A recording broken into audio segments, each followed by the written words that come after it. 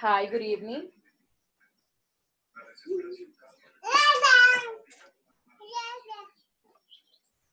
Hi, can you hear me?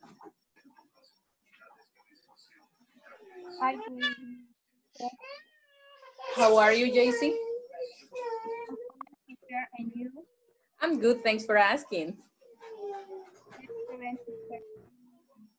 Okay. Um, hi, Sylvia. Hi, teacher. How are you? Very good. Okay, that's really good to know. Um, okay, we are going to begin our class. Vamos a iniciar entonces con lo que es la clase.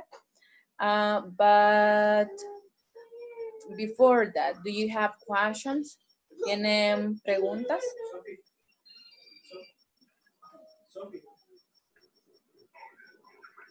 No, I'm not. Ah, okay. Do you have questions? No? No. No. For the things that we were studying yesterday.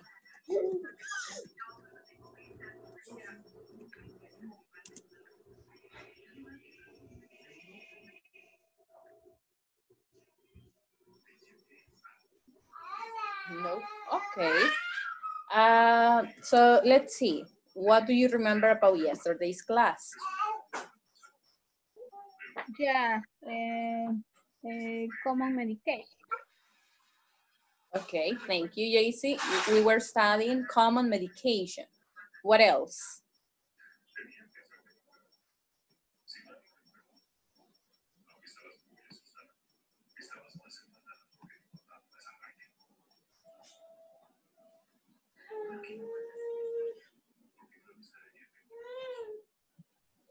Okay. Okay, so we are going to continue today. And the topic that we are going to be studying is about imperatives. Can any one of you tell me what an imperative is?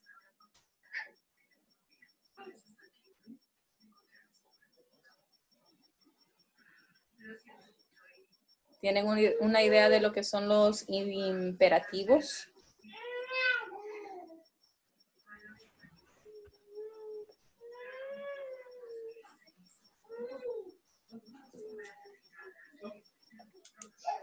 Yes? No?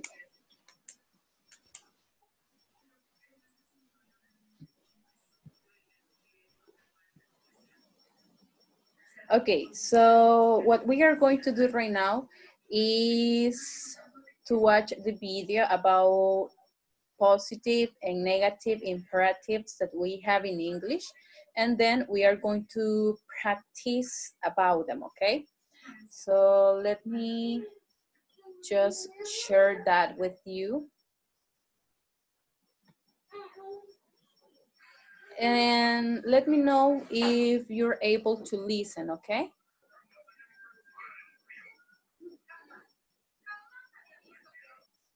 Okay, so here we go.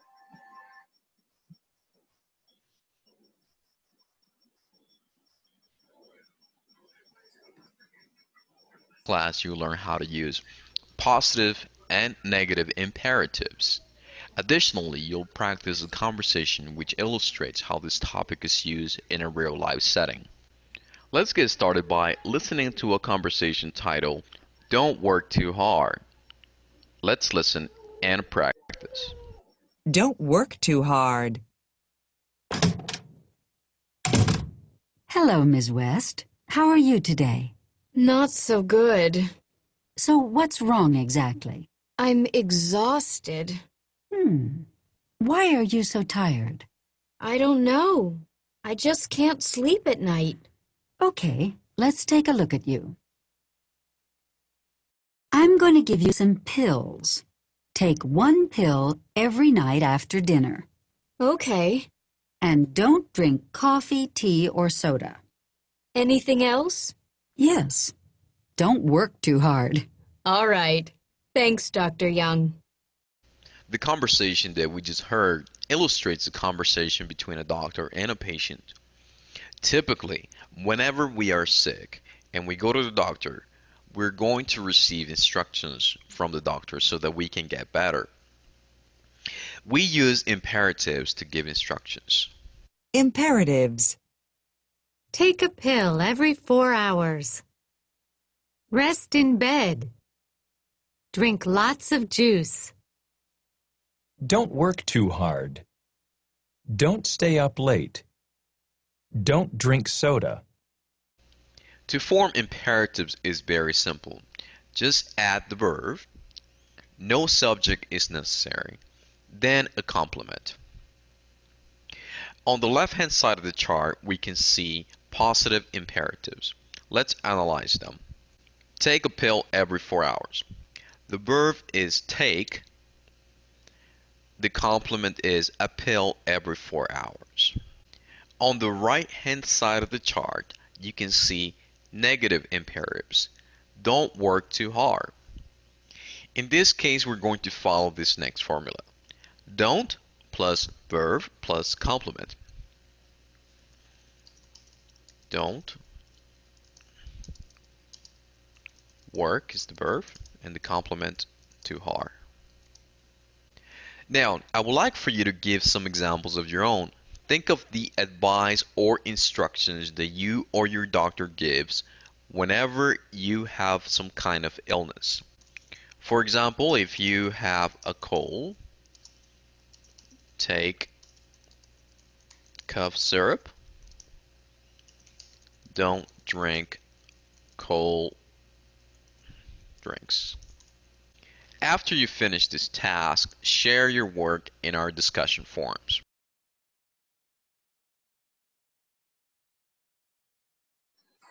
Okay, so you can see that there we have imperatives. So now that we have listened to this conversation, what can you tell me an imperative is? Después de haber escuchado esta conversación, ¿qué me pueden decir que es un imperativo?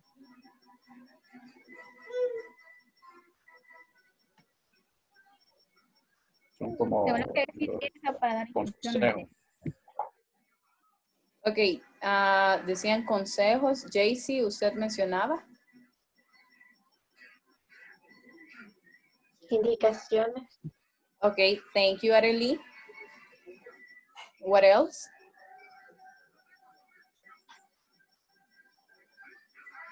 Yeah, most of the time we are going to use imperatives when we are giving instructions or commands. Cuando estamos dando indicaciones u órdenes, okay? We use, we can use positive and negative imperatives. Okay, on this conversation, um, what are the imperatives that you can identify? En esta conversación que tenemos, ¿cuáles son los imperativos que ustedes logran identificar?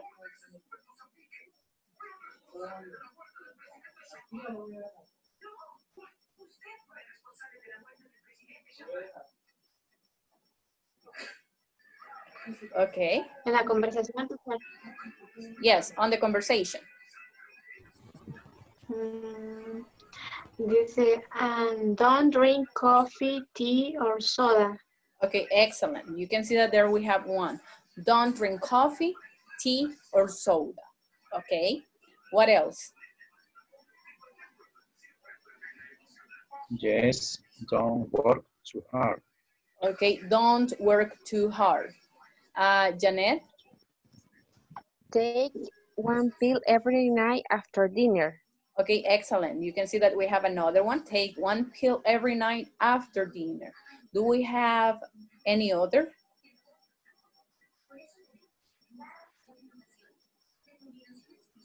Silvia? Oh, okay, let's take a look at you. Let's take a look at you. Okay, excellent. Muy bien. So, question for this short conversation. Preguntas de esta conversación.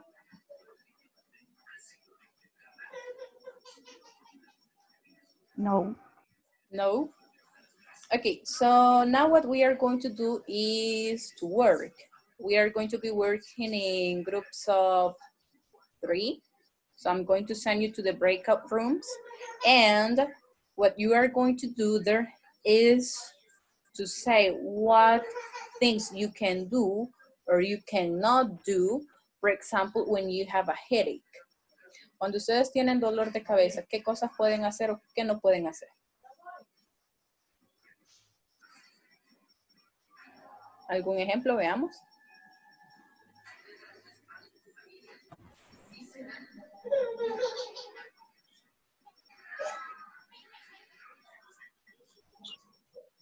I know watch TV. Okay, don't watch TV. Excellent. Another example.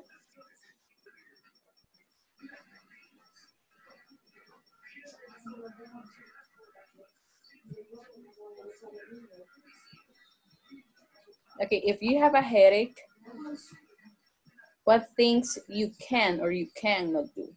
¿Qué cosas pueden o no pueden hacer si ustedes tienen dolor de cabeza? Isael said don't watch TV, okay. I sleep. Okay. Sleep or take a rest. Descanse. What else? Okay, Silvia. Eh, por ejemplo, no hacer que no hagan ruido. Ah, okay. Don't make noise. Or stay in a quiet place. Que se quede en un lugar tranquilo. Stay in a quiet place. Okay, so that's what we are going to be doing right now. Eso es lo que vamos a estar haciendo, ¿verdad? Lo voy a mandar a los breakout rooms para que entre ustedes estén diciendo qué pueden hacer o qué no pueden hacer, ¿verdad?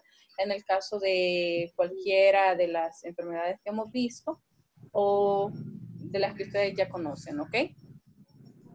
So let's begin. I'm going to send you and I'm going to be with you in a few seconds, okay?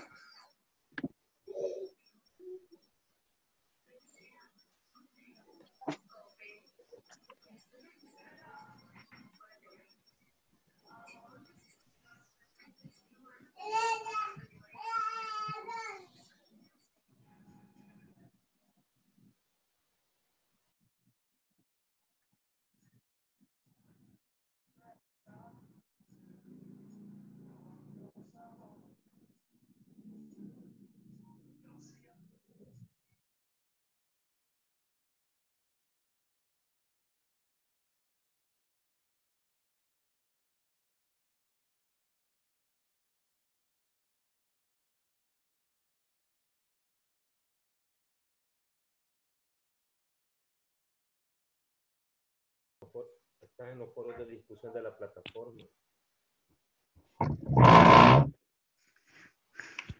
La, la conversación que está, que, que compartió ella.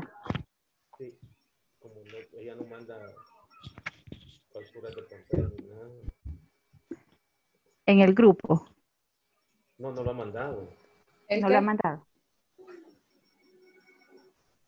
Teacher, Ajá. ¿qué es lo que vamos a hacer? ¿Qué es lo que vamos a hacer? Vaya, ahorita vamos a practicar. En el caso, va- ustedes van a estar diciendo qué es lo que pueden o no pueden hacer si, digamos, alguien tiene dolor de estómago. So, for example, if I have a stomachache, ¿qué puedo hacer yo? ¿O qué no debo hacer? Hidratarse. Okay, so how would you say that in English? Ah,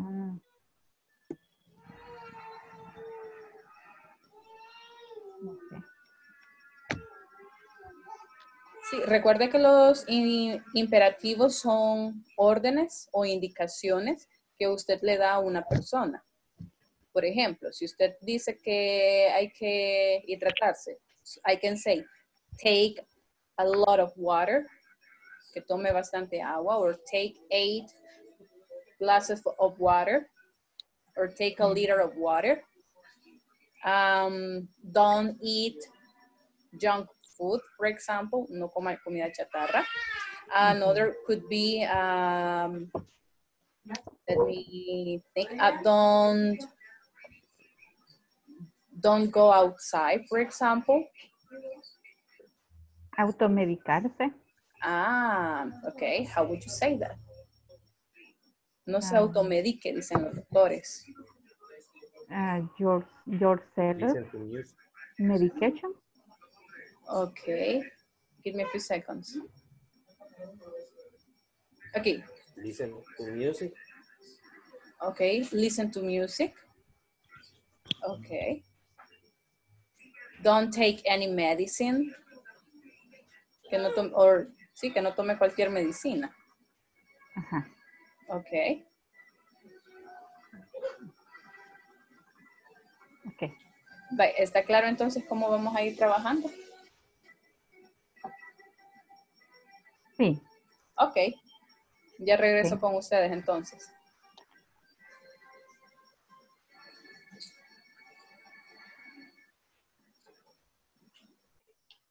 Pero para nuestro caso sería I don't drink frozen things. I don't drink or don't drink. Sería don't drink. Ok. Don. ¿Por qué no usamos el I? Porque estamos dando indicaciones Ah, sí, sí, o sí. son órdenes. O sea, si digamos, si yo estoy con dolor de estómago y ustedes son mis doctores, por ejemplo, ustedes vienen y lo que harían o, o me dirían es, no, no coma comida chatarra, por ejemplo, o no beba soda, no tome mucho café, Ok. Tome bastante agua o coma frutas frescas, por ejemplo. Ok. So, Que se don't llaman imperativos, porque son órdenes o indicaciones que nosotros le estamos dando a otra persona y no necesitan lo que es sujeto. Órdenes, instrucciones o consejos, ¿verdad? Ajá.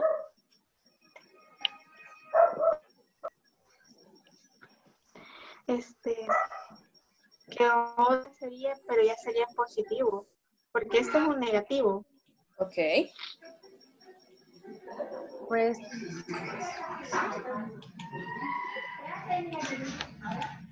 Pues, sin a ver. Tomar té sería Tomé, tomar cosas calientes. Como tomé jarabe para la tos, no bebas refresco. ¿Verdad? sería Ok. ¿Cómo dijeron? Va- Por ejemplo, así ve. Este, si uno tiene dolor de ojos, use a, a drops. Entonces, decir, don't take jarabe, no tome jarabe. Cuando dice si tiene uno dolor, if you have, el que dice, if you have a pain, entonces sería positivo, use a drop. Ok. Eye drop. Eye drops. A drops, con este al final. Gotas. Ajá. Ajá. Y entonces sería no, don't take jarabe, que no puedo tomar jarabe porque como es de los ojos, ¿verdad? Ok. Don't Algo así. take. And how do you say jarabe? ¿Cómo dice jarabe? Ah, jarabe, no es jarabe. Es, ah, Zero. No, no, no, ¿verdad? Ok. Zero. Don't, Jarabe. Eh, syrup, syrup sería, syrup. Ok. Ah, entonces sería don't take syrup. Ok. Ah, syrup, syrup o syrup. syrup. zero. Syrup. Ah, syrup. Ok, ok. Vale. Sí. Entonces ahí lo hicimos positivo y digamos negativo, ¿verdad? Ok. Ajá. If you have a stomach cake, Syrup,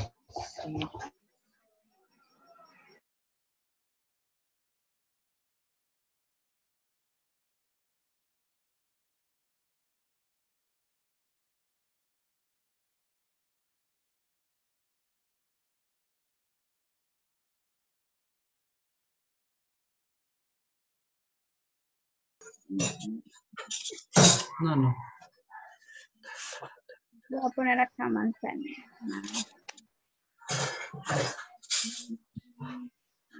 chamo, chamomility, Okay. Chamomile. You're, hi, I'm listening to you. yes, very good. Ajá, quiero escuchar la práctica de ustedes. Yo acababa de entrar. Y solo sé que es de I had a, a H A L H ajá? L- Ajá. Tengo dolor de cabeza. Ok. Ajá. ¿Y qué cosas hacemos o- y qué cosas no hacemos? Ok. Pues am, no, no sé cómo hacerlo en, en inglés, pero lo que hago es tomo una, una pastilla. Okay, so you you take a pill. Take a Pill. pill. Yes. Oh, Okay. pastilla. Yeah. Let's suppose that I'm your patient and that you are my doctors. Supongamos que yo soy la paciente de ustedes y ustedes son mis doctores. Um, I have a stomach ache. Ooh, and I drink two tex, testo, te, te, testo, ah, ¿cómo se dice? Pecto Bismol. Ok. Vaya, estamos usando, estamos viendo el tema de los imperativos en inglés.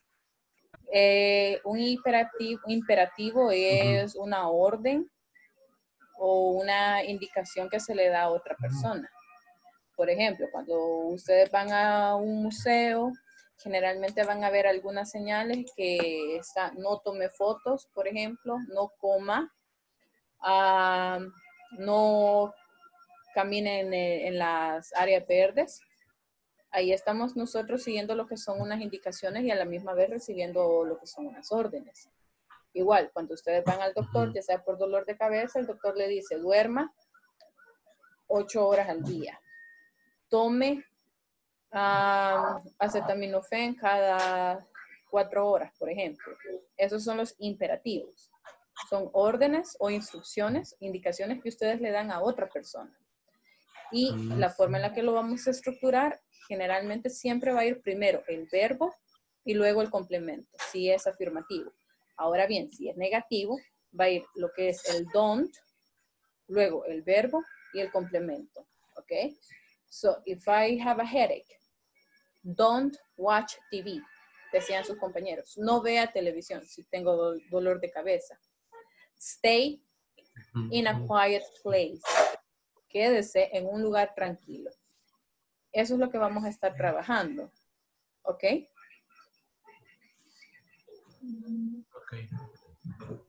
So I want to listen to you.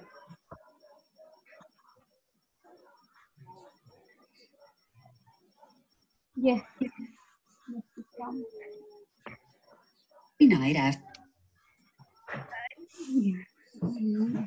Ok. Va, Ya, re- ya, ya regreso. Mejor nos vamos para la, a la sesión principal. Permítanme.